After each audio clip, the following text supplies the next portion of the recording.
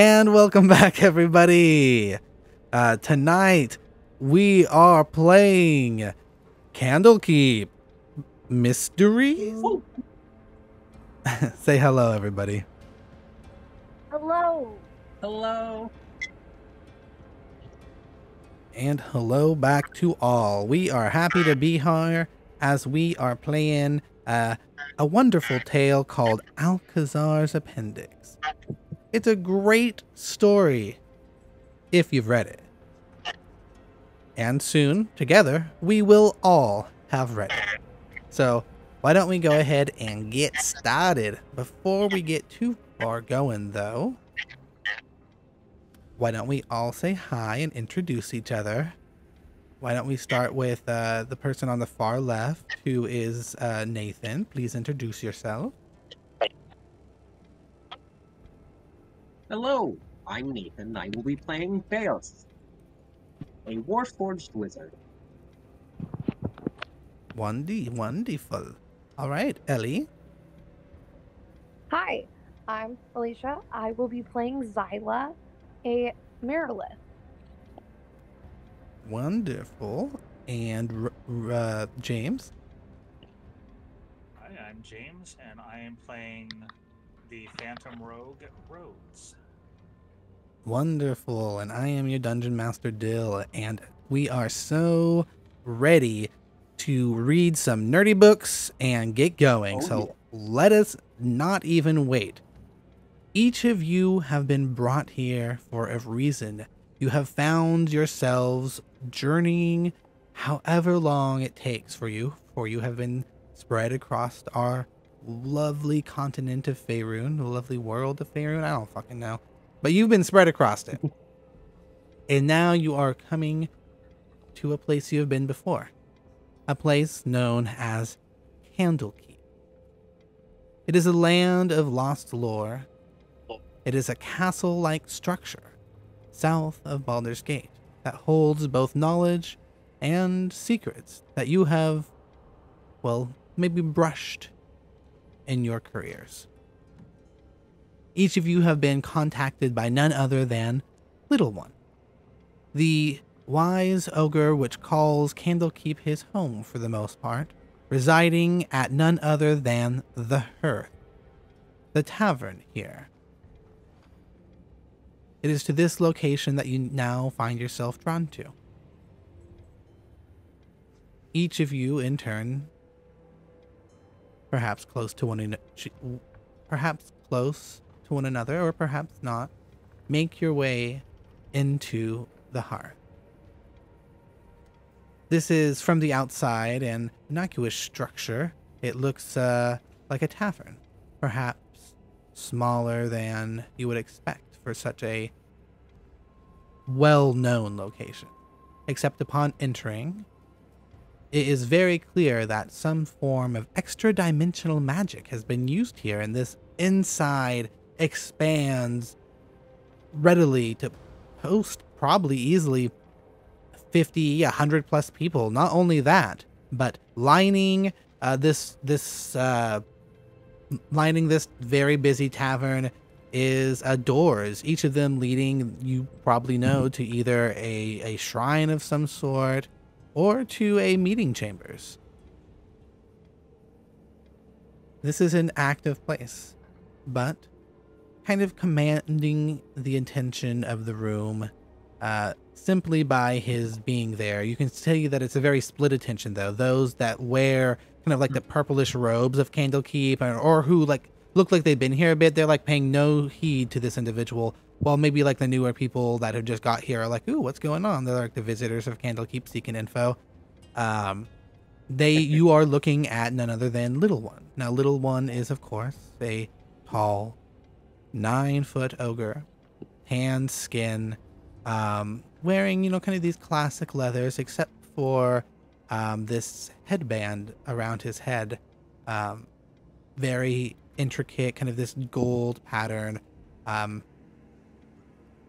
and as each of you in turn kind of steps into the room, he reaches out to you. Um, his voice carries across this crowded room, and although no one really stops, it kind of like you hear the record go a little bit, you know, Um, uh, excuse me, travelers. I see you have received my message. Uh, please, please, uh, come close to the table. I have quite a story to tell you. It is good to see you again. And you, Bales. Uh, I hope you don't mind these rushed words and uh, bringing you here unannounced without much fanfare. I, I just know that there is, is much to be done here, and uh, you three individuals are uh, three of, well, the strongest and, and most uh, dedicated individuals I know. And so I hope that you will do me this favor, but I- I'm sorry, I'm babbling. Um, you all know me, but perhaps not each other. Uh, uh, this is is Beos, and he motions to the Warforged. This is Zyla, and he motions to the Maryland. And this is Rose, and he motions towards Rose. Are you a human? Yes. I, the human. um, now I hope you Ah. can. Sorry. it's all good. I uh, I hope you don't mind uh, bumping shoulders for just a little bit uh, and doing me this favor, but please, um, look at this tome. And he slides out in front of you um, a book. It is a, a a nice book. You can see that it has this kind of like leather like appearance to it. It's it's em, uh, embossed with like this this filigree, and the corners are even like very well done um, except that it, you can tell that it's, it's very obviously had some age to it. And scrawled across the very top is um, Alkazaar's appendix. And he kind of just pushes it across the table to you guys. Um, Oh. yes. Um, it's quite an interesting tale. It came with this. And now the first book, yeah, you know, like this Alkazaar's, Alkazaar's appendix is probably only like a half inch, half inch thick. Um, but he just like slam, and a second book hits the table, and this one's probably like a good like a, a it's like a fucking foot, right? Same kind of book, same. It looks the same way as the uh, as the other one, except the title is Alkazaar's Thrilling, Thrilling Tales. Um, and he says, uh, uh, together, these make up the work of Alkazaar, uh, the hero who have roamed uh, our lands almost a hundred years ago, and uh, what an interesting tale they have uh, told. But this book, this larger one, and he kind of pushes it to the side, it's not what we're after. This one, his appendix. That's so weird. Um, tells the only tale worth telling. It speaks of Alkazaar's unfinished quest into, well, how about we just look at it and you can find out? Uh, um, would it be all right if I if Beos made a history check? Uh, to I know, uh, like we talked about, I am familiar with the name for sure, but do I know anything else about the book? Yeah, sure. Go ahead and uh, roll a history check. Anyone interested after hearing that, you're welcome to roll a history check.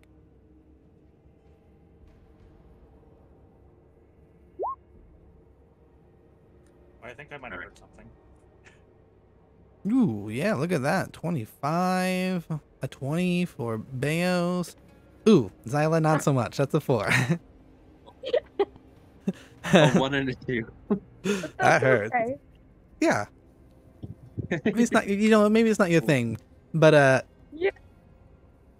So yeah, you guys have heard about Alkazaar. Now, Alkazaar is a very interesting individual. Um, you guys know that that's what you're you're looking for, right? What Alkazaar? What's up with Alkazaar? Uh, yes, and if I've uh, heard of anything, uh, anything about the book recently. Okay, cool. So been- yeah. Oh, sorry. Well, you're good, but Cool, cool, cool, cool. So, uh, yeah, you you guys have um, not you have heard first of Alkazaar, right? Alkazaar is someone you know of. Um, he, uh, wrote you you've heard that he's wrote these down. These are like almost like his memoir slash maybe you don't know if it's maybe doctored a little bit because some of the tales are a little fantasy, you know, like pretty high. uh, but um, it's kind of like his life's work, right? That first book, uh, Alkazaar's Thrilling Tales. It's kind of like the book that is given when you go to like Hero Ed 101 in high school. They're like, okay, please read. We're gonna flip to page uh, 267 of Alkazaar's Thrilling Tales, right? And you're fucking like looking up, just like classic shit.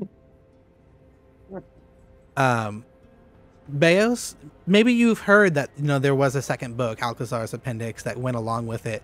Um, chances of seeing it are pretty slim. It's it's only copy resides here in Candlekeep, and honestly, it's a it's a tome that is more passed around by word of mouth than anything else. But Rose, for whatever reason, you have heard of this before and it rings a bell. You don't know why exactly. You don't know where you've may have may have come across it. Maybe um, in a mage's notes, or you know, on on the dying lips of someone. Uh, but that name, Alkazaar's Appendix, comes to you, and you know that, of course, this holds, like Little One said, the tale, the last tale of Alkazaar's unfinished quest. But you know that this quest is in search of a very powerful magic item it is rumored that Alkazaar, before he gave up on this quest, it's the only quest that he gave up on, um, was after a fabled nether scroll. An item of such power that it can change change one's perception of the weave and the ways of magic in fundamental ways that no one can understand.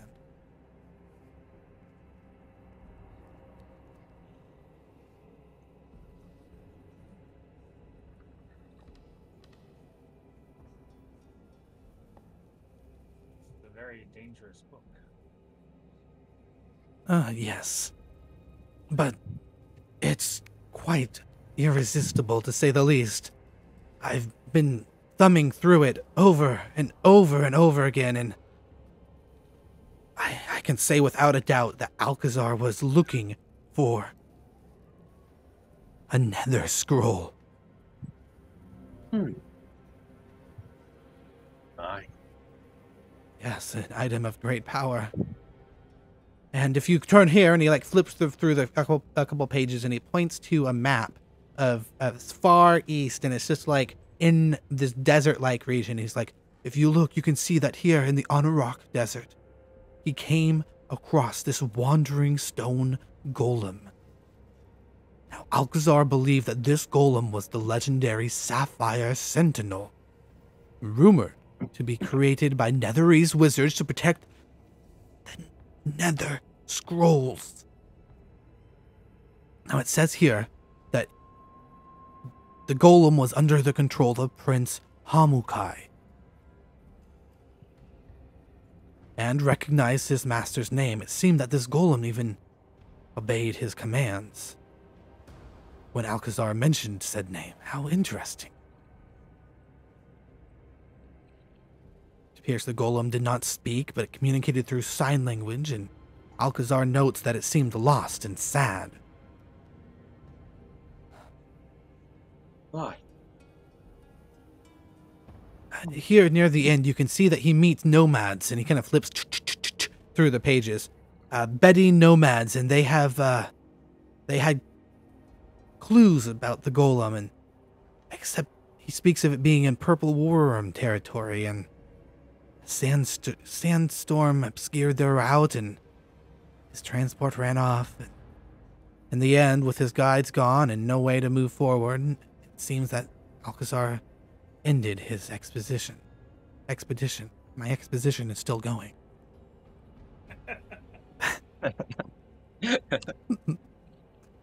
now. So.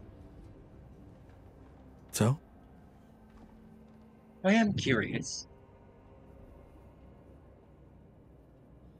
I assume you wish for us to return with one of the scrolls.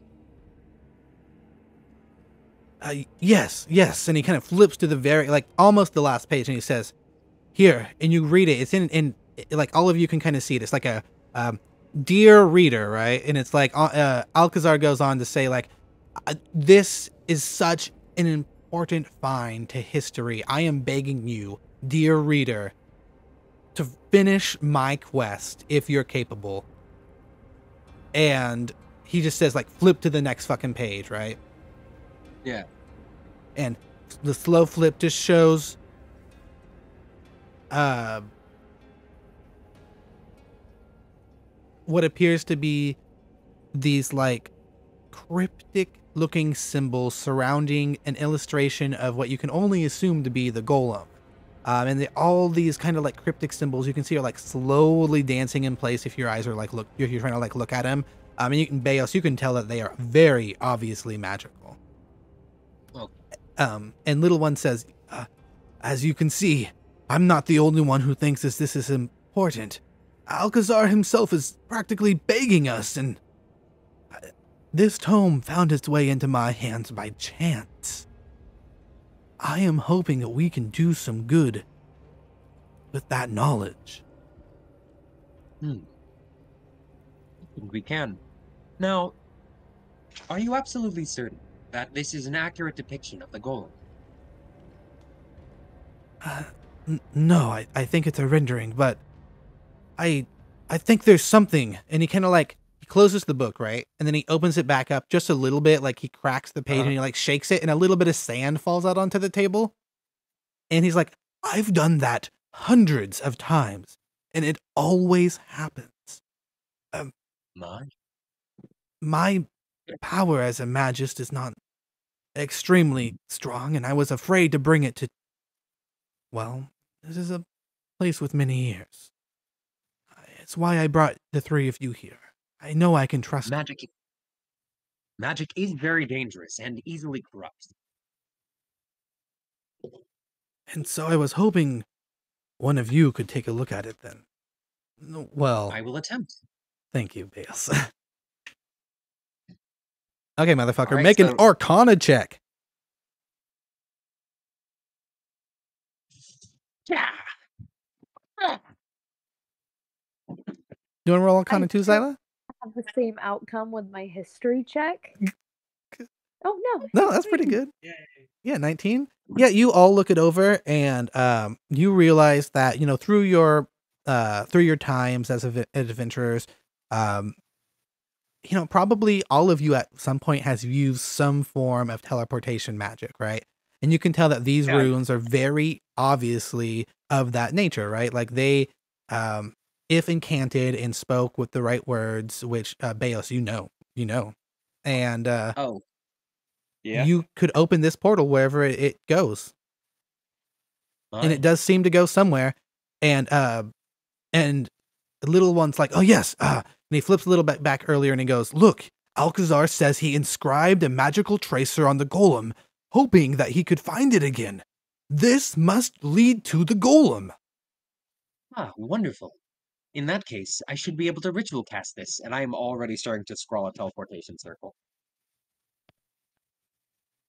you don't even need to you know that with a chant Okay. yeah with uh with justin uh, it does take some time but with like an hour of chanting you could open this up this magical tracer that he left and appear exactly at the location that it wants you to be at that the golem is at right Yeah.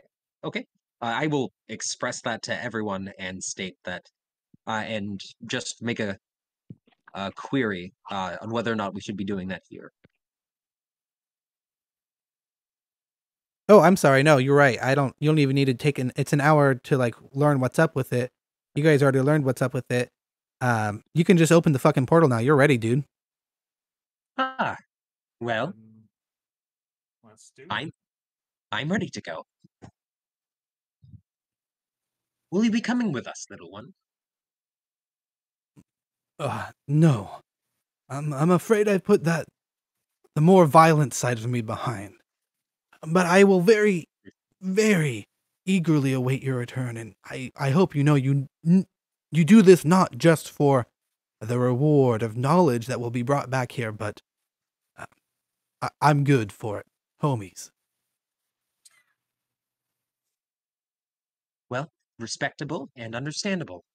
Um, and then yeah, I'm gonna look. Is there any hesitation in the other two? None here. In, in my compatriots? You fucking ready to go, Zyla? Oh, definitely. She is just patiently waiting. Now, if I understand correctly, this could be in purple worm territory. So I will pull out my uh, staff and my left hand, hold open the book, and repeat uh, and do the incantation. Okay, here we go. You uh it's a very short amount of words. It's it's like a it feels like a handful of garbled sounds fall out of Beos's mouth to the rest of you. And then this book tears itself open in front of you and um you're suddenly looking into a sucking portal um that is just baking heat. Heat is just flowing out of it. It's hot on the other side of this portal, apparently, and you can feel it. Uh, those closest to Beos, you can feel the tug of this portal drawing you in and wanting you to move into it. Um, Beos, you know that this portal is only open for a short amount of time, longer than most, probably only a minute, but uh, Oh, long enough that you get you need to not dally. I Rose jumps. all Everyone through. I shall wait. Un- Uh, I shall wait until the last second to make sure that we are not followed.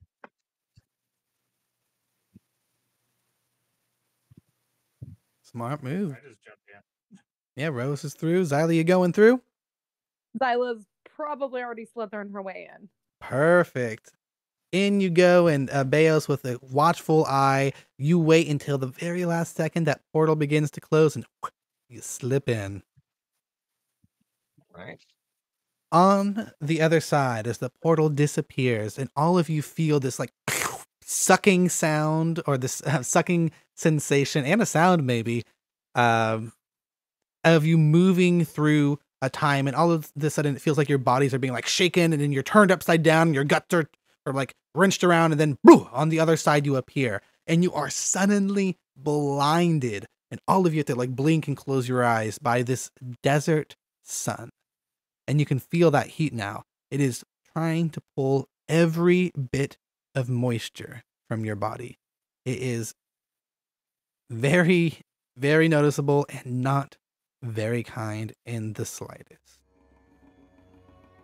The bone dry air makes each breath burn. You can feel the hot and taste the baked earth around you. As you blinked to get your vision back, you look around and you can see that below you, about 50 feet away, a camel watches as two desert nomads dressed in these long flowing clothes unearth a hulking stone golem half buried in the sand. You can see that they are so intent on their investigation of said golem that they don't notice your arrival. And how about I just show you what you see? And you said uh, we are 50 feet below, or they are 50 feet below us. Are we in the air? Uh, you're not in the air. They're just like 50 feet away from you guys. They're, you're like on a dune rise, and they're like down at the bottom. We appeared like up on top of a, uh, a high sand dune. Yeah. Okay. Yep. And you're looking around. You can just see there's there's desert everywhere around you. You know that this is the Anauroch Desert.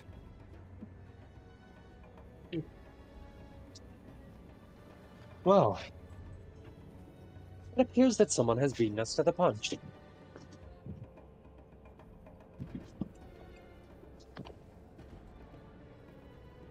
Uh, how many are there? Uh, you can look and uh, you can see that there are just two individuals. They just look like um uh from this distance you can easily tell one of them appears to be like an older gentleman with a uh like with a uh not a cane but like a walking stick, and a younger individual uh, probably in his uh teens or early twenties um. Uh, that kind of you can definitely see that they they share familial connections. Their facial features are very obviously the same. Um, and both of them have like this uh, dark olive skin with this brown hair, and it just uh, is flowing outside of their their robes, which they have kind of pulled back right now. With a single camel. Hmm. All right, I'm gonna start approaching. Okay, so probably not a threat then. Yeah, I'm gonna I'm gonna approach as well. I'm approaching as well. All right, all of you move on up, and um, as you do, as you guys begin to cross the sound, it's uh, you're not ex- exactly sure what it, you know draws their attention if it's the sound of the movement or you yourselves. But uh, the older gentleman looks up and uh, motions suddenly towards you guys with his cane and, and looks towards Pesh, and you can see there's a little bit of fear. uh, I mean, towards the the younger individual, and you can see there's a little bit of fear in his eyes. Um, and he, he of calls out against the sands. Ugh. Excuse me. Who are you? Who goes there? You're excused. Oh, thank you.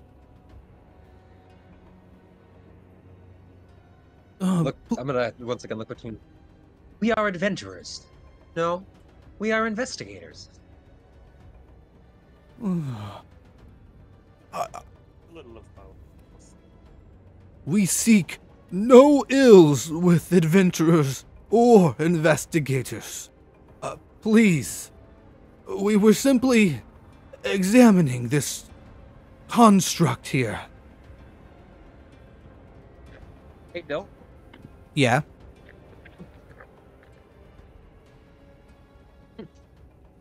Hey, Dill. Yeah. Uh, once we're in uh, within 30 feet of him, can I cast detect thoughts? Oh yeah, totally. Do you want to try to do so like indiscreetly or Um, actually, no. And uh, right before I walk up to him, uh, I'm going to say, "I hope you, I hope you understand the mistrust. But this will not, this is not uh, something that will hurt you." Then I will start casting. Okay, what is the uh the saving throw? And uh, sorry, I won't say mistrust. I'll, I'll say caution. Key. And the save? Is there a save for it? Uh,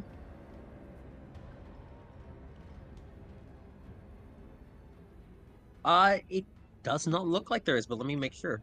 Okay, sounds good. And if it is, if there is, It's gonna be Uh, wisdom. my save DC. Yeah, and my save DC is 18. Doesn't matter. I rolled a two, so either way, you uh you uh you know do the actions required to cast a spell, whether it be vocal, somatic, what have you. And um immediately you can see the old old man is like ah and he gives you this sign and like it's like magic users, right? He's just like there's a little bit of like a, a reluctance in him, but you can in, in that you pick up immediately off of surface surface thoughts, right? Like like Mhm. definitely has a wariness to, to magic. Um, but you can see that this individual, uh, his name is dancing across it. Shamir, Shamir, that's his name, and Pesh is his grandson. Um, and you can tell that both of them are just uh, um individuals from a local tribe that seem to have stumbled upon this golem and was um examining it. You can see that there are these strange thoughts dancing in, in Shamir's head, though. Uh, thoughts of him as a child, of his grandma telling him stories of a golem, and of a man in the tightest pants and rippling shirt she's ever seen, and how she led him to uh to this this cavern like area, this purple worm territory, right? And you just like click, it clicks, and you're like, ah, shit. Shamir is somehow related to to this to this entire thing. Mm. How fucking convenient. Isn't it? um, then honestly, I as I'm hearing these, like after I finish and get the general idea right, Mm-hmm. I'm going to turn to both Zyla and Rose and just call him out. It would appear that he uh, is related to, most likely, the grandson of the person who guided Alkazaar, and it would, and uh, which appear, which is incredibly convenient. And uh, I will repeat his name and his. Uh, was it his son or his grandson? I'm sorry. His grandson. Uh, his grandson's uh, name to the party members, but I'll turn uh, towards him. Like, and he is understandably wary of magic. Makes sense. We do not mean you any harm. I don't know how you did that, but. Uh... And you hear that the kid finally speaks up and he's like, Calm down, grandfather. These are simply very powerful people, and they're exactly what we're looking for. We were just discussing how you were remembering the tales that your grandmother told you about about the secrets that this golem could hold. You know, the prince's golem. Maybe we should help these people. And Shamir's like, No, I'm not sure. And Pesha's like, Yeah, we should.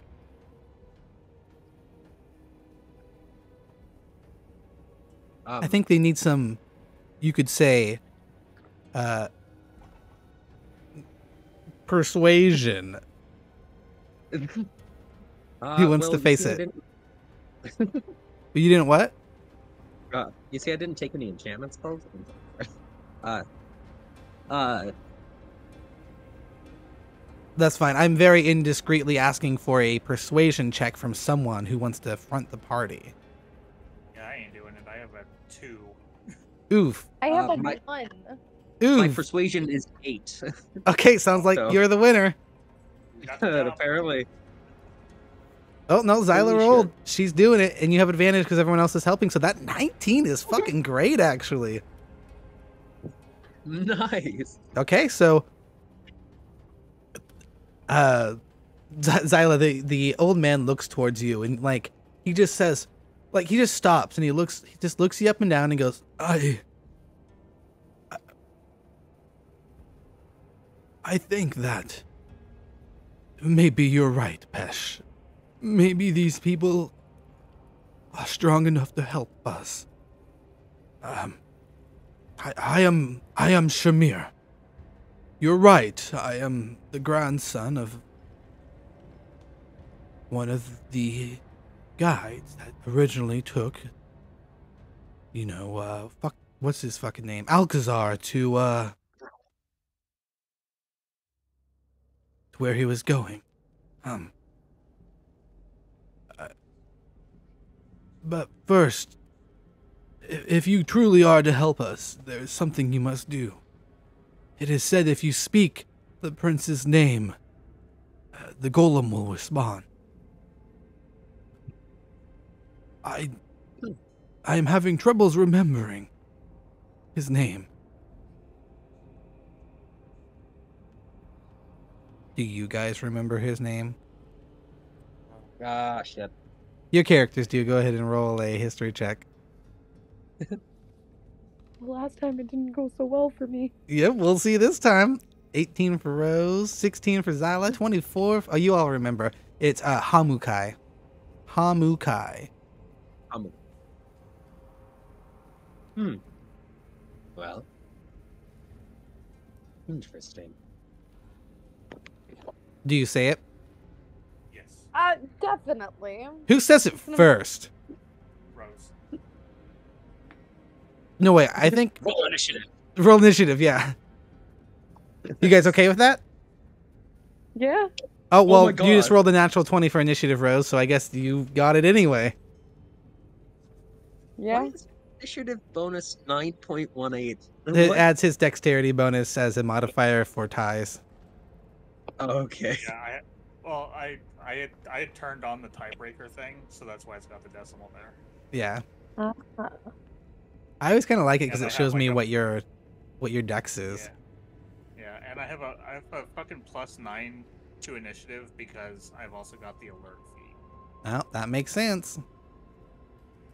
Well, uh, Rose, you say it first. Hamukai. And as the word leaves your lips, you can see immediately there is a change in the golem who has otherwise been like it's a half buried nine foot tall golem with this uh, like design on a stone circle on its chest right it's like a, a blue circle with these radiating um um, radiating eight golden beams radiating out from it, kind of looking like a sun, right? And it just hasn't hasn't moved, hasn't done anything. Its eyes are just kind of faintly blowing glue. But the minute you say that, Rose Hamukai, um, you hear the of the golem's head moving, and its face, which had otherwise been locked in like this kind of mopey look. That's the, the best way you could describe it. It looks fucking sad, right? Um, but it moves and it like begins to like smile a little bit, and it makes a few hand gestures towards you, a couple signs that at first maybe you don't recognize. Um, but it like begins to stand up, right? Like, and as it does, you can see it's like easily 13, 14 feet tall. This is a massive golem, right? Um, and it just kind of like looks there, like kind of smiling at you, Rose, just kind of, kind of waiting patiently. And as that happens, Shamir's like, "Oh, this is just like the tales. It said that Alkazaar could also command the golem. Please, let me and Pesh guide you. Let us take you where Alkazaar was going." Can I do an insight check to see if I'm getting any bad feelings about this guy? Yeah, sure. Go ahead. Make an insight check. Oh, Oh, a natural I one. No, too late. shit, Nope. Not a, how can you help with insight anyway? You know, like that's such a that's a, such a niche one. But yeah, to each other. You fucking feel great. Also a natural one. Good job, Rose. May I attempt just to see if we can get three? Yeah, sure. Three natural ones. I can't believe you rolled a 17 with your Oh natural God. one. Good thing. Yeah, look at you rolled it, but that's not the one you rolled. So Zyla, Rose, both of you, even even Beos, you all feel the same way because it's the truth. This dude Why- is. Well, hang on. That was a. Um, I rolled a ten. Why is it red then? plus- I don't know, but I have a. s- a- oh, probably because it's the lower roll. I don't know, but I have a plus seven to insight. How weird. Yeah. So yeah, I rolled a ten. Okay, well, Yeah. 17's better anyway. Yeah, Nathan rolled a fifteen. Well, both of you guys, regardless of whether you rolled a natural one or you rolled the 23 that Beos rolled, you all feel the same way because Shamir's telling the fucking truth. He feels the same, right? Uh, this dude is very obviously odd that you guys just got this golem to stand up in front of you and he wants to see it to its end. And you can very, like, you can read that in the lines that wrinkle his face. nice.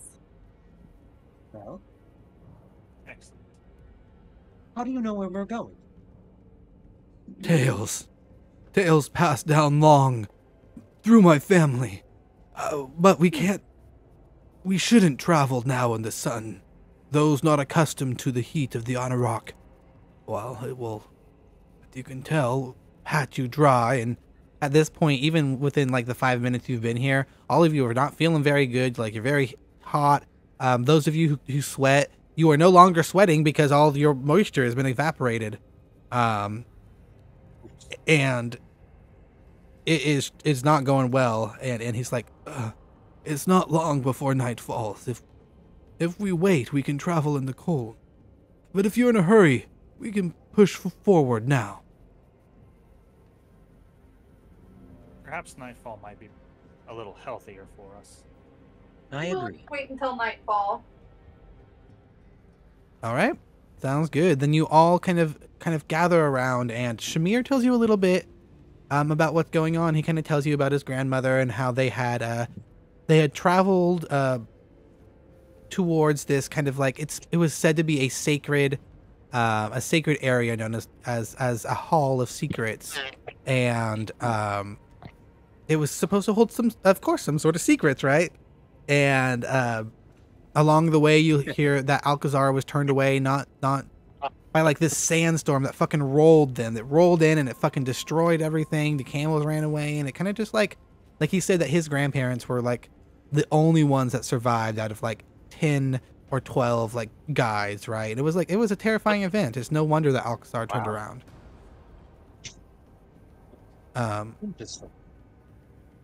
And and again like you you hear and he like with the rest of the time before the night falls you hear tales of the purple worm you just hear that it has ravaged this place for quite a while right like it's a it's known in the desert because the desert is is its home, and it has grown old here, and it's there's it's almost like a its own little deity, right? Like the purple worm. Um, but there's definitely like a fear. It's like that fucking purple worm. It fucking destroys if you get around it. I'm sorry. Grandfather time. but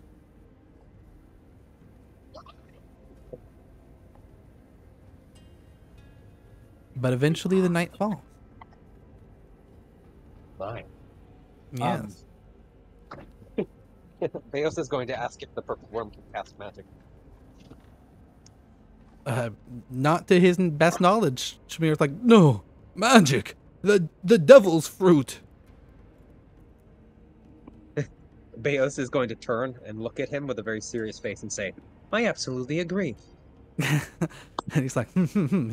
he like he's like, oh yeah, this guy's on the right level. He at least knows. He's not sitting here trying to talk shit. But uh, yeah. Much worse. What was that? I've seen much more like magic than that. I've seen. L- let me just say that the Anauroch, this desert here, is a wasteland because of magic. It's, it's nothing against it personally. It's just I've seen what magic can do to a place and to a people. Oh my. Was looking on, was this all the work of the Netherrealm? Why, yes, it was. Netheril was here. This, this is it. Beos We just bel- shakes his head. But I can see that the sun has fully fallen and night has come. Perhaps we should quench our fire and begin our journey. It is a long one. Yes, that Alright. sounds like an excellent idea. All right. Well then, mofugs. You uh you break down that camp? short rest spell? Yeah, sure. It was a short rest.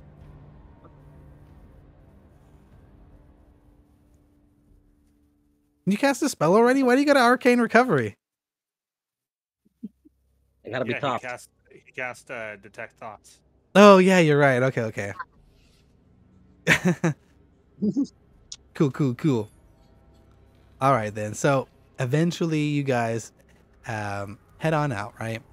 And as you hit this desert, you can see that um, it is even at night. It is it is warm. It's baking uh, from the sun below you, but above you, there's just this constant chill from this open sky. There's no clouds anywhere. There's just stars as far as the eyes can see, and the heat it's leaving just as quick as it set in.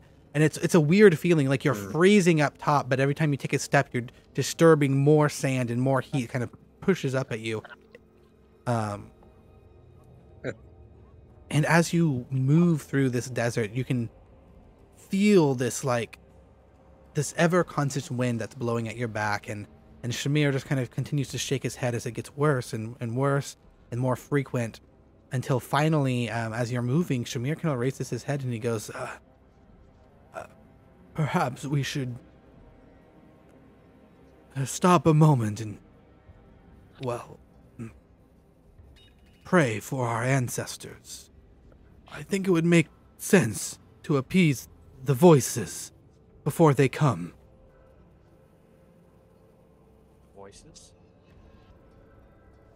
Yes, you see, and then it's too late because they come. They're on the wind. There are shrieks.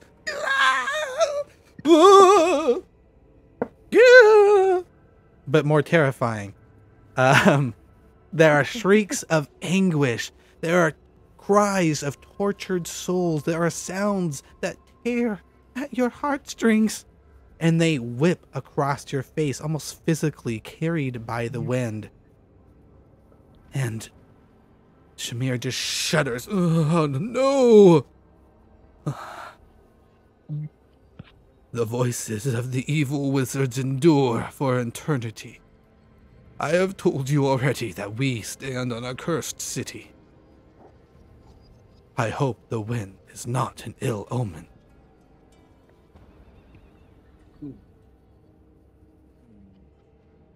Um, gotta fight the urge to cast magic constantly.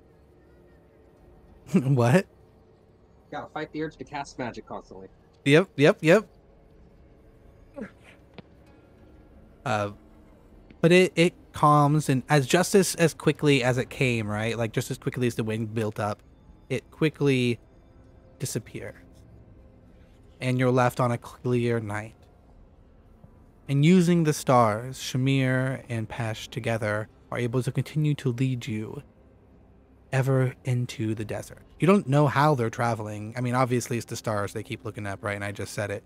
But like it is a wasteland out here. There's no roads. There's only remnants here and there of like broken down buildings.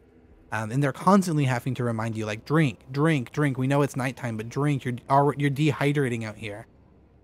Um, I'll pour water on my face.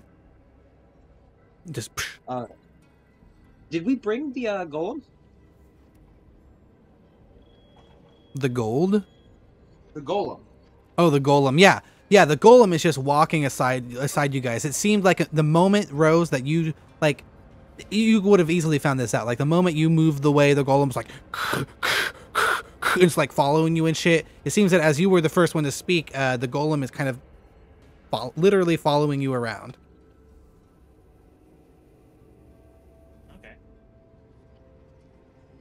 Yeah. But yeah, it just continues to march on beside you guys. Very like it's very non-communicative. Um but it seems to understand a little bit of what's going on, right? Like it waited with you guys, it, it got up, it walked around holes, it doesn't just fall into them and shit, but uh um, but it's not sitting there chatting up the weather. Eventually, you guys continue through the desert until a shape makes itself clear in front of you. At first, perhaps it is reminiscent of a mirage or something of the sort, but it doesn't go away, and Shamir kind of shakes his head and goes, I don't know what that is. So you push closer, and you can see that sitting atop a um, a very large granite pedestal is a sandstone sphinx. Around the pedestal, there are bleached bones, both humanoid and non humanoid, half buried in the sand. It seems to be staring, frozen, into the night. Well, that looks incredibly dangerous. Indeed. Uh, how are you lot good at riddles? One more time? How good are you lot at riddles? Huh. Not well. Do you think banishment will be a sufficient substitute?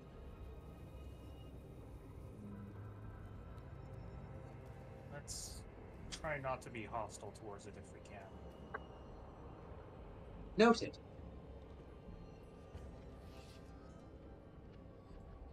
Well, if that's um, can I uh, can I pop a detect magic and uh, basically do a circle around the pedestal? Yeah, of course. Yeah.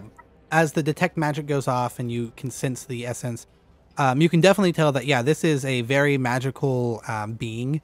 It's not magic like an item or anything. This is indeed some sort of magical being held in suspension here.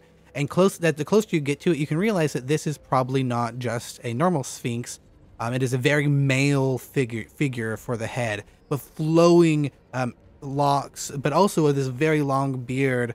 Um, and it looks at you um, doesn't look at you right? Because it's frozen and, and it's a sand it's sandstone it's a sandstone sphinx but it seems to like the eyes almost follow you follow you. You can see that there's like something to it. That it is indeed a magical being and it's almost like it's waiting for something Well, despite the fact that this is most absolutely a trap, it appears we, we should probably approach. Any suggestions, anyone? Um, how, how far away is it? I mean, uh, close or as far as you'd like. You guys can clear the distance. I mean, you guys probably got up maybe like 100, 150 feet when you saw it. And then I imagine, uh, Beos, you got close enough to be able to detect magic, which is 30 feet. So anywhere between there.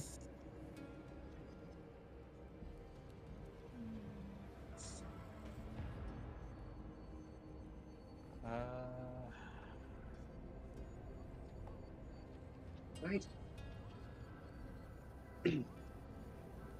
And if you guys want, go ahead and all of you guys can make a quick uh, investigation check if you guys want to like, or make a, a perception check for me. Actually, I think that'll be better. Doesn't matter. It's the same skill stat, so I'll take the investigation. yeah, that's good. Yeah, I, perception was pretty good too, but yeah.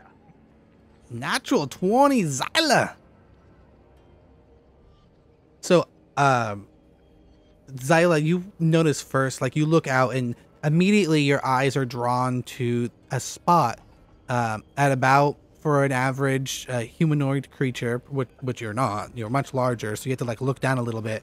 But um, you can see that there's a spot that is almost like rubbed clean, like the sandstone has been polished a little bit, um, and you can only assume that it's probably done from years and hundreds of hands or something touching that area.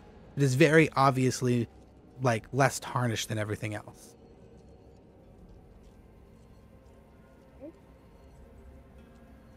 The debate to just walk up and go like touch it is so so real right now. Do it. Uh, yeah, I'm gonna slither my way there and and touch it. Slither one. Slither my way downtown. okay, and, and and Zyla, how does this sand do for you? You like, are you li- are you feeling it? Is this a good feeling moving through the sand? Are you hating it? I'm neutral because like I've got scales. I don't have shoes that I have to deal with sand getting into. It just kind of rolls off me. Sure, that's kind of nice. I would kill to not have sand in my shoes. Oh, Sam, I hate sand so Mm. much. Okay, Anakin, calm down. So, uh, First, it gets everywhere. so Zyla, as you the women, but the children too. so Zyla, as you come up to this this uh, sphinx here, and you reach out, you place one of your hands on it, and um, which one? Tell me, is it like I want one like one, two, three, left, right? I'm gonna use my right middle hand. Perfect. Cool. Cool. So your hand comes out. Very important. Hope you know. Um, and the moment you, you touch this area, um, a voice pushes into the center of your skull. Very, very forcefully, you could say. It's a very invasive voice, and it just speaks immediately. Forked like a serpent's tongue, I spark the thunder's peal. With every stroke, the storm is wrung of darkness by my zeal. What am I? Could we possibly get that posted in chat? Yeah, and I'll I'll say it again, um, for the listeners. Here you go. Uh, in a normal We all- voice. We all, hear it, right? No, it's just telepathically straight into Zyla's head. Okay. Yeah. Um, so sh- you would have to say that to them if you'd so wish, but it says forked like a serpent's tongue. I spark the thunder's peal. With every stroke, the storm is wrung of darkness by my zeal. What am I? I, I'm gonna turn to them. I'm gonna tell them that, and then I'm going to ask uh, to see if there's anything like in the book that might help us. Cause do we still have the book with us? Uh, you don't Yeah. actually. So one of the rules of Candlekeep that uh, little one would tell you is that books don't leave Candlekeep. Copies aren't made of books in Candlekeep. People don't fucking touch books in Candlekeep unless there's an attendant nearby. You have no clue how how, how uh, little one ended up with those books in his hands. Weird. Okay. Yeah, they're really serious about that. Like, if they could put it inside of a place where no one could ever read them again, they probably would. So she's already told us uh, the riddle, yeah? Yeah, she's already told you the riddle. Rose speaks up, a bolt of light.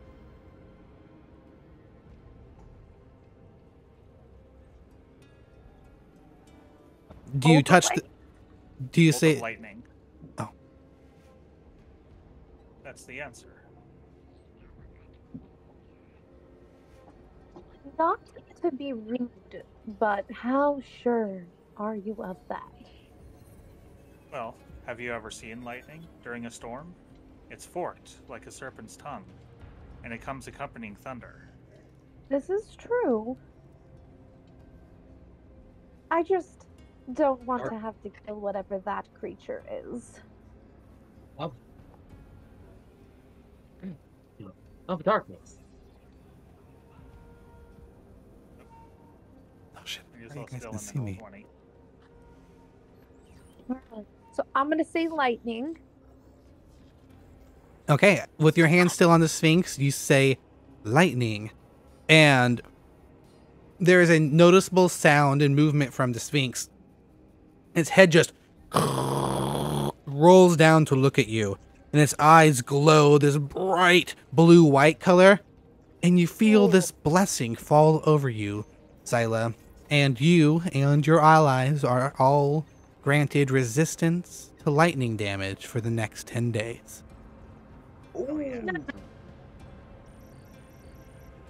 And then the sphinx like falls to dust in front of you. And it's less like it it's not like it makes a pile of dust right? It looks like it literally like disintegrates pedestal and all and just disappears into the sand and leaves no trace Well, that's just nifty.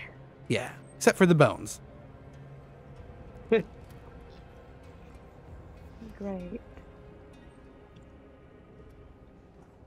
My. i i'm uh, pleased that went well uh, uh, but we're close perhaps can we should I- press on oh what Uh, I was gonna just look behind us and see if, uh, and I will be making a, dis- a disadvantage This construct. Do not, sorry, Warforged do not have Dark Vision.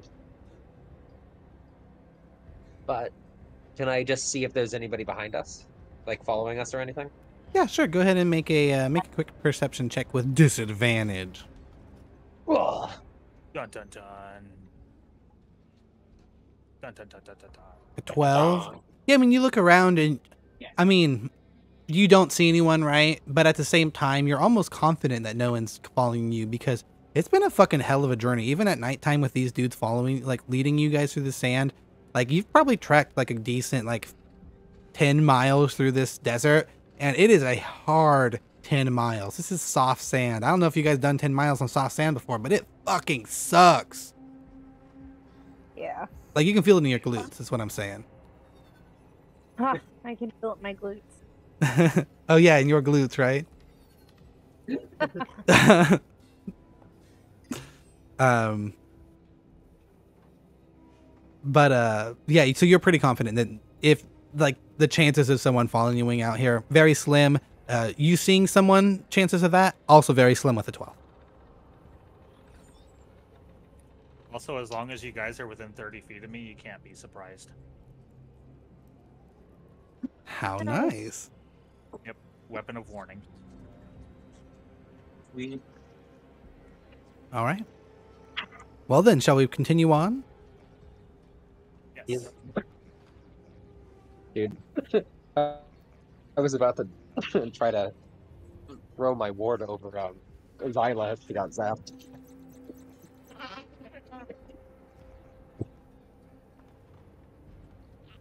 Yeah, I am I think somebody probably would have all just been zapped. I'm glad that didn't happen because you wouldn't have been zapped. You would have had to fight that Andro Sphinx. I was so ready to fight it. Yeah, you were right too. You knew. I was Nice. pretty scared. I yeah, knew the answer was wrong. that was good. You knew it. I looked at it the first time that I read that riddle, and I was all like, uh, "That can't be the answer. That's so simple. Like, like I, uh, not simple, but like It's too obvious. it feels like the yeah, it feels like it's not the Yeah, answer. was, motherfucker, what is fork? Is it a fork? Is it an actual fork? Just a bunch of fucking silverware just drops out of the clouds during the All right. Let's push let's push on here. We're almost almost to the next stop. Um The desert evolves around you guys. Um, as you continue to make your way through the sand, you can see that Shamir and Pesh are continuing to use the stars, um, you know, to help with their navigation. And, and in time, um, the desert begins to change. You're no longer on the open dunes, but now moving more towards like a gravelish substance. And then you're on like a almost like a hard rocky substance, and you're moving through kind of this different area until finally the landscape around you begins to bear the scars of a purple worm's habitation. You can see very obviously a complex of caves that has collapsed as the worm created its rubble filled tunnel. In front of you, you see a crack in the face of a cliff that looks like an entrance to an undamaged cave. And around it, a few 15 foot diameter, rubble filled holes provide clear evidence of a purple worm's passage. Overhead in the night, you can just make out vultures circling slowly as if anticipating scraps. Ah, um, assuming that, uh, assuming that Bale Five thinks that we are the expected scraps because they're circling us, right? Yeah, they're like circling you guys in the area. Hmm. Um, and as you get close, um, uh, Shamir kind of points a hand out and he goes, "Uh, As you can see, signs of worm all over. But, uh, this is it. This is the cave. It said that there are secrets within. If, if you can deal with the worms. My. And from what you were telling us, we should also expect the largest one here, correct? I think so, yes. Those holes, and he points again to the 15 foot diameter holes, Mhm. they can only be, my, be made by a gargantuan monster. Right. All right, well, What are we waiting for? I just imagine Xylus sitting there like, oh, here's the words purple worm. All of the swords come out. Yep. How many swords do you have? I have, well, technically a weapon for each hand. Yeah. Love it. So And, uh, six weapons in total. And uh, three of them are scimitars, right? Yeah. Sweet. I love this picture. huge. Someday we're gonna have to roll this back and hear like the early tales of Scylla growing up. Seriously. Yeah. For now, though, you all press on towards what you can only assume to be the entrance to this cave. That's the plan, right? Move on up into the cave entrance. Yep. Yes. Yeah. Okay. As you guys approach, you are immediately hit by this horrid stench that fills your nostrils. Um, and uh, Shamir's imme- like Shamir like kind of covers his face and and and Pesh, his grandson's like, "Ugh, grandfather, you never told me purple worm dung was so pungent." And it appears that uh, Call out grandfather for passing one. yeah. Shamir's all like, Oh, "Oh yes, it's it's shitty." That's an understatement. I've smelt worse. That is terrifying. I've smelled better. Yeah, and I'm as gonna- you uh I'm gonna pop mage armor now. okay, uh the clan, translucent uh, armor clashes in around you, um, and you all begin to make your way towards and further into the uh, cave entrance here. Um, immediately you can see that uh, there is shitty shit all over, like, and, and it's like big. Like the worm dung is like, like it's like one of them is probably like ten feet wide, six or seven feet long, right? Like they're fucking huge. Um, and they're just like these Wow. long, viscid, rubbery tubes of of of of shit. That's all they are. They're just shit. That is one big pile shit.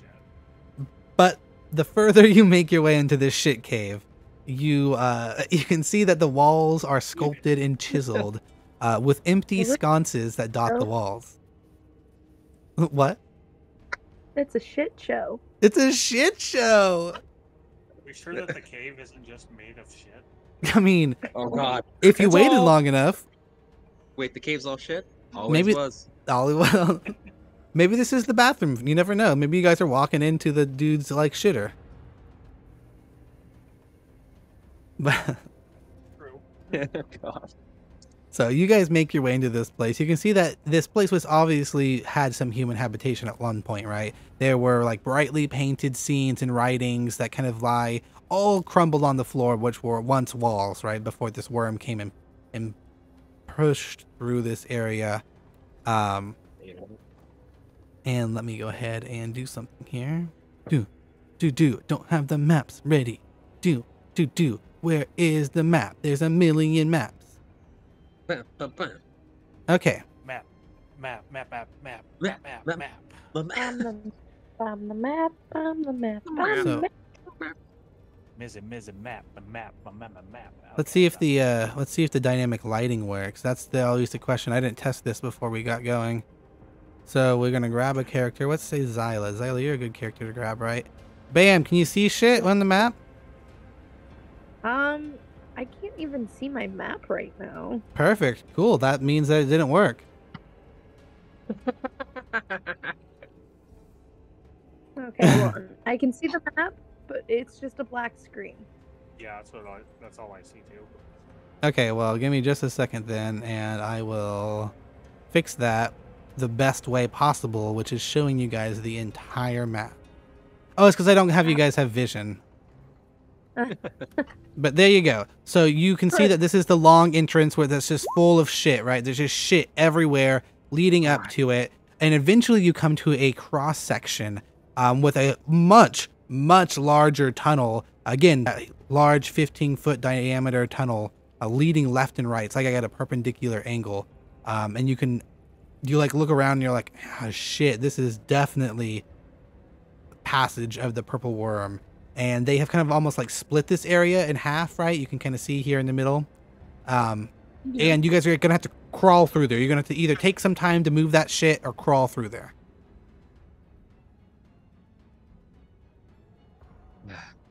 Well, this feels If- oddly. Push myself feels- through. Would it make it larger for the rest? Oh, 100%. You would just need to make Uh, a strength check for me. Can I uh can I help by trying to like uh push or give her tail leverage if you'd like? Oh, 100%, yeah. Make it with advantage if you so wish, Sila. For strength? And Yeah, strength check. 22. That's good enough. Yeah, you're able to slither right on through there. You're using your hands to kind of like help you move boulders aside and almost making like very minimal noise other than the sound of like the natural sounds of the shifting rocks. You create a large enough passage that all of you can easily move up and over and um, to the other side of uh, of this little place here.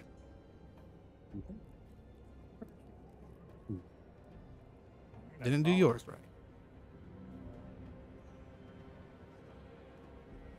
All right. So, as you cross over that barrier and push further into the cave, um, Shamir and Pesh behind you, like pushing in, they're like, "Oh shit! I hope there's not a worm." Um, Oh, The- oh shit! Uh, the tunnel opens into a cave that is 50 feet long and 30 feet wide, 20 feet tall even. So it's a you know pretty big area. But that's not what catches your eye. Maybe it's the bats that chitter near the ceiling. Maybe it's the floor that reeks with their fucking shit. More shit. Or maybe it's the colorfully painted frescoes that line the walls deeper within the cave on the left and right hand side. You can see that they are very obviously beautifully made mirror. And as Shamir finally wiggles his way into the room, he's one of the last ones. Pesh is helping him through the gravel pile. He goes, Oh, this, these, are from our ancestors. And he just like moves towards the murals and just like his hands are just going over them, trying to read them. Like I mean, they're pictures, right? You can read them by by reading the pictures, but you can see that underneath the pictures, there is a large inscription that is just engraved into the stone itself, and there are uh, six of them in total. Wait, one, two, three, four, five, six of them in total.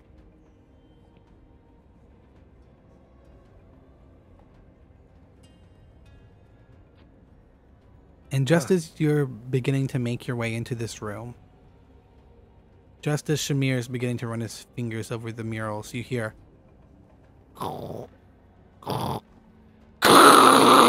And a fucking purple worm bursts up from the tunnel that you guys were just hanging out at, right? And it's all like. And it comes to uh to fuck you guys up. And that's the first combat we got is you guys versus a fucking purple worm. Sounds good to me. So hold on just a second. I just want to say that that purple worm is to size. There you go. Now you guys are to size too. You're a large sized creature, so you're a little bigger. You had to like squeeze through that hallway. It's probably sucked for you. I feel like we're missing a Absolutely. Titan. Yeah, we're missing Nathan's. turn. Oh, there he is. No, this is really- Yay! Yeah, you guys are all in here though. But okay, yeah. So as the worm bursts up through the, the wall, it's like BAM! Worm time! And Nathan, I need to mess with your character again. It's not really your character, it's just a token. Um okay. Hold on. It's because I fucked it up last time.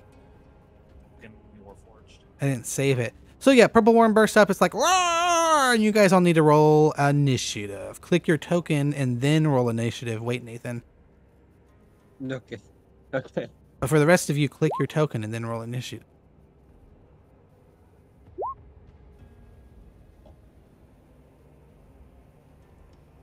Um, as the purple worm busts up, though, Shamir's like, "No, I knew this would happen," and he just like runs in with Pesh uh, to the far corner back over here. They don't have tokens because I'm lazy, and they're just gonna try to hide. Oh man, I just opened your character sheet, uh, Baos, and I'm just looking at all the fucking spells that are on here. So many. I really hope you use the drag and drop feature. Wait. What is? What the fuck is that? Oh man, you typed all that in. Oh no, the Yeah. drag and drop. Yes. Okay, okay, yeah, Okay. yeah. Yeah, I had to type a lot of the unearthed arcana ones, but That's fair.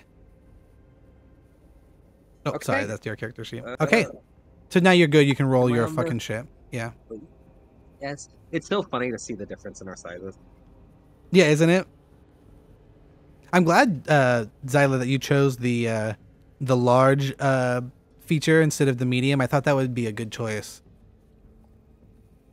like it like really bugged me about that one because like it explained it as the large creature and then stated that it was medium. Yeah, isn't that so weird? And I was like, okay, well, I'm just gonna go with the one that says large because clearly it's a large creature. I'm 20 feet long. Yeah. It's the same thing Ah. with centaurs. I don't get it. Like centaurs are also I mean, they had the thing that's like um I'm a I'm a like a large sized creature for carrying capacity and shit, but I'm like, "Oh, why aren't they Yeah. they're like horses. They should be big." Yeah. Yeah, fucking Minotaurs and Goliaths are like that too. Yeah. This is our D&D Oh, yeah, podcast where we complain. Fuck off, wizards. yeah, fucking hell, wizard. God damn it. okay. Okay. So now the question is, Who's going to die? That's the question. oh, That yeah, yeah, yes, that is definitely what I was thinking, Bill. The Let's worm n- is gonna die. Oh my god, I just rolled a mm-hmm. natural 2 for the worm. Oh wait, no, I rolled a natural 4 and it has a minus 2. So, so I rolled a 2. So for you uh, and if you guys want for you know those who don't see the token super great, here is what you guys are up against. This wonderful purple worm that is a a massive creature. It's just like it's It's fucking huge. It's just long and literally purple and covered in spines. Probably like your Okay, favorite toy. Bam. Sorry. I'll leave now.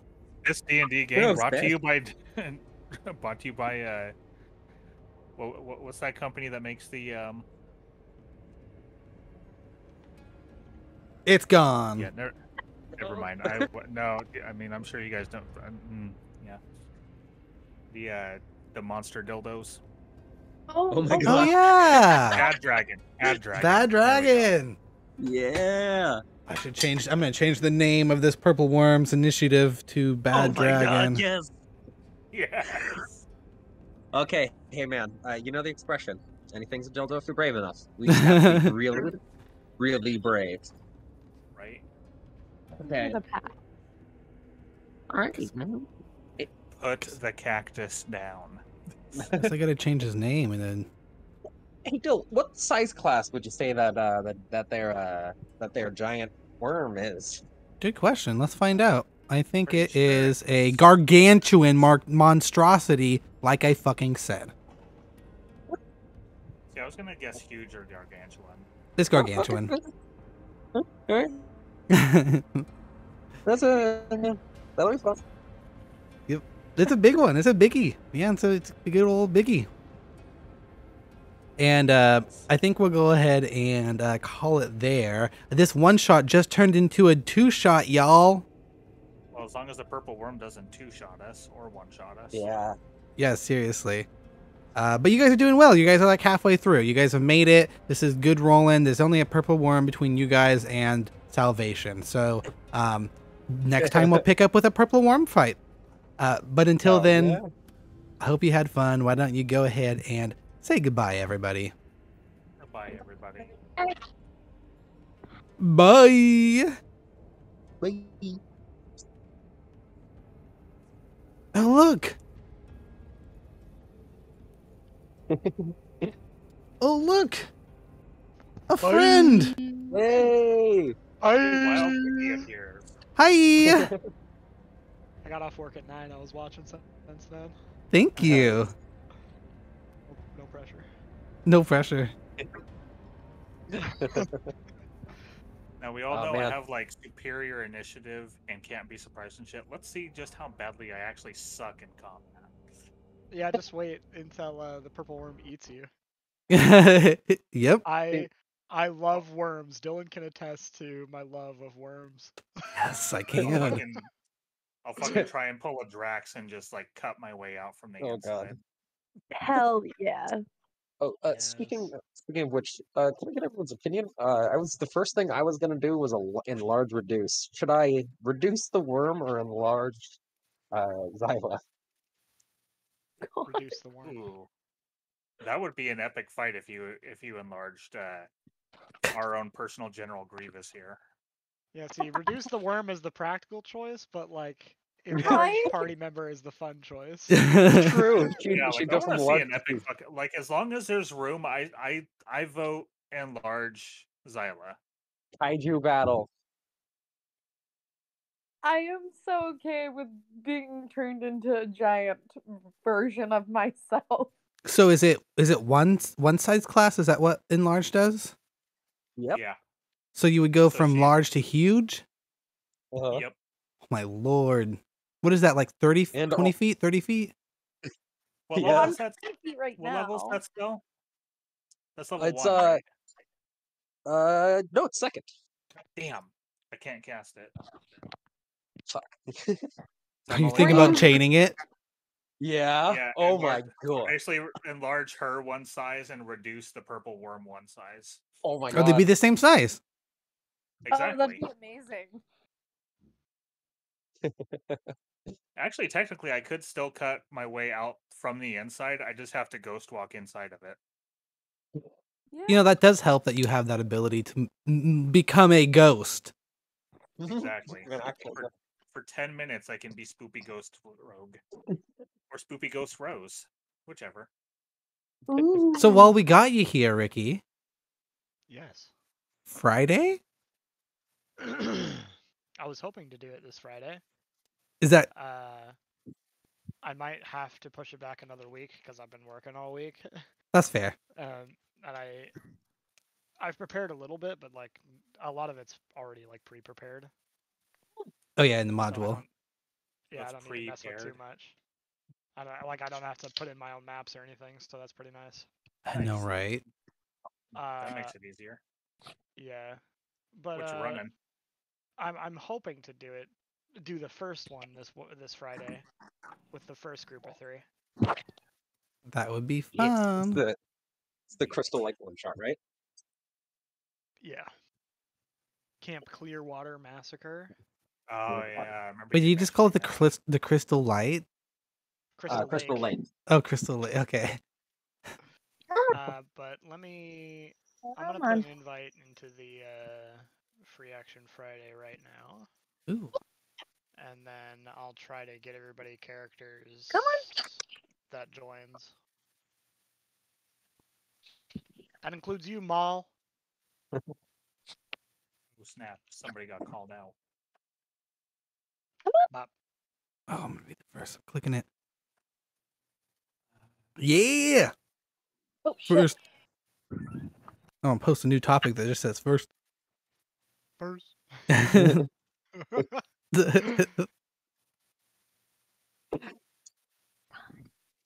yeah. So. Come on, go inside. I I still have to do like some some reading because I gotta do I gotta know like what I'm doing while I'm DMing it. instead of just winging it. you don't need to do that. You watch me do this. I love winging it. You got I gotta be honest. I love winging. It. I love winging it. but I at least want to know a little bit. so- That's fair. Oh god, Yeah, uh, inside, you little we're- feathered dinosaur. I'm hoping for for this Friday, but I'll let you guys know if we're gonna have to push it back a week.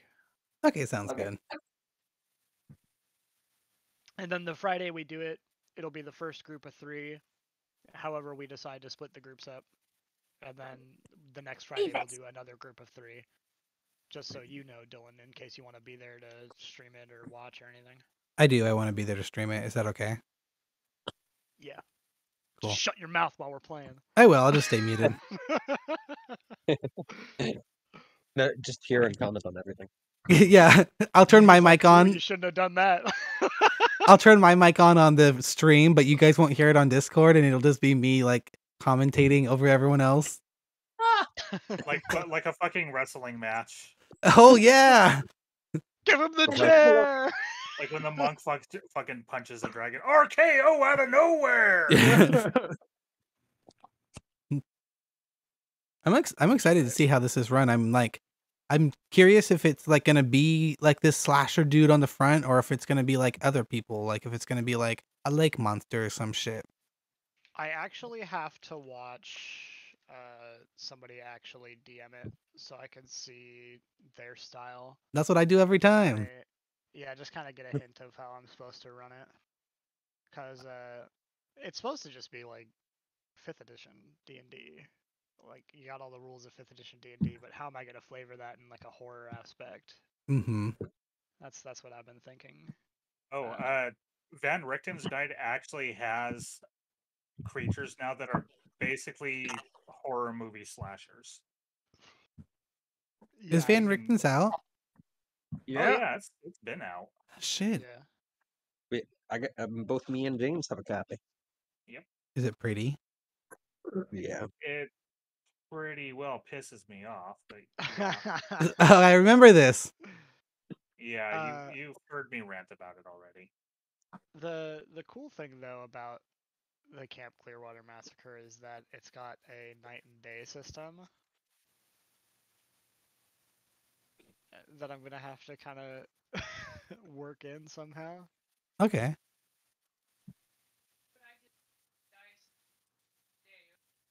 Yeah, It's always tough. I'm trying that in the Bloodborne thing. yeah. There's there's still things I gotta read up on and things I gotta make sure that I'm doing right while I'm DMing it, but it'll be fun. It'll be it'll be a fun one shot. I'm excited.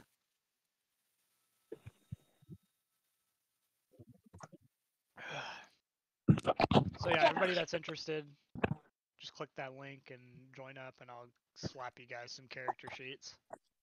Woo! Woo. And uh, Click on that link. Yeah, I'll tell the others to do the same, and then we'll roll it from there. Dylan, you're already in, right? Yeah, I am. Can I give you a character sheet, please? Hey guys, I think I am going to hop off. I eat. Righty, Have good a night, good Ellie. night. You You too. too. Yeah, thanks for playing tonight. Fun. Alright, Bye. I think- Bye. Bye. I think uh she'll hop off as well. Uh, but Ellie, while you're still here, Yes. uh, are you still down to do the the twin drow thing for the uh, the uh, Clearwater Camp Clearwater? Yeah. Yeah, I was still down to do that. I mean, I I say that kind of hesitantly because I only had one day off, Okay. so I'm passed the fuck out. Fair enough. But I might also just muster through it because I've been having a lot of fun with like these little one shots. They're cute. It's a blast. I like it. It's a Baja Blast. Ah, that's the best Mountain Dew. Now you have my interest. It's the open do. A Baja Blast, you say? Okay. Uh, good night, everybody. night. Good night. Um, hey, James, I Ricky. don't know if uh, you expressed interest for this yet or not. Uh, no, I normally have my son on Fridays. Okay. Thank you, Just though. making sure so I don't leave anybody out. Yeah, no problem. Thank you. What's up, Hey, Bill? Ricky. I Yeah. do you have the fifth edition character sheet set to default on the thing? Uh, it should be. I might have to double check and make sure. Okay. Because I don't have a character sheet. Oh, but let's see.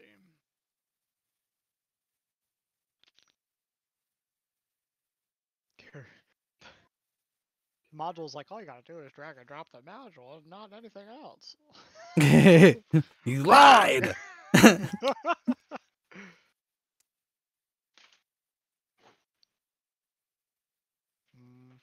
Yeah, I wasn't sure if I had to like open up one of these to like claim it or anything, which I now know I don't have to. And so I like made a game real fast like with the module in it, and then I deleted it immediately. I'm like, okay, now it's hopefully saved. But I knew I couldn't look at it. I thought I just saved those changes. I clicked save changes. Settings saved successfully. It worked. All right, now leave me alone. Thank you. I will. Okay, so Sorry. now you can see it.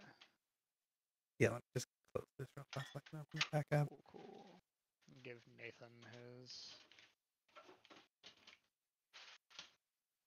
And then I gotta pull up my reroll, pull up reroll because that's what my character's on. Reroll.io. There's a brown bear. Oh, that's my brown bear. Get started on web. Log in. okay, so now you and Nathan have character sheets. I was gonna be like, no, he doesn't. I can't see his character sheet, but of course I can't see his character sheet.